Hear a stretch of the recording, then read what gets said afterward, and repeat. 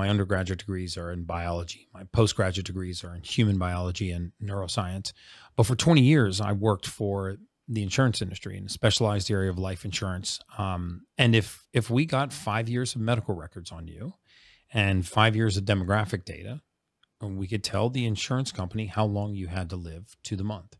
And it is some of the most accurate science in the world. In fact, the new valuation basic tables on mortality are based on a lot of the research that came from from this industry.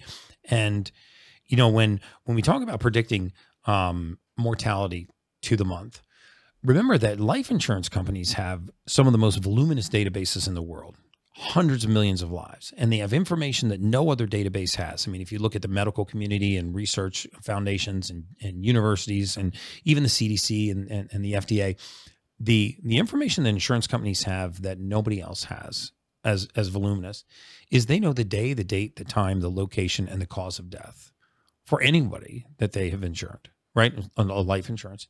And not only do they know the day, date, time, location, and cause of death, but they also know all of the medications that that person was on. They know their family history. They know their demographic data. They know their financial history. They have intimate knowledge of their medical records.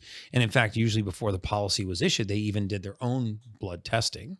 Um, so they didn't just put that person on a mortality curve, like an actuarial curve. They they were able to drill in on their specific mortality because they know liver enzymes and kidney um, uh, uh, poison levels and this level of anemia at this age and this history of smoking and this genetic predisposition that all of these conditions which are called mortality factors put into the same bottom body combined with something called comorbidity factors led to this causality of death. And if you add this pharmaceutical it accelerates. If you add this pharmaceutical it elongates. And so that data of knowing the the date of expiration, if you will, on so many lives and triangulating that back into the medical record is how you become so accurate with your predictions.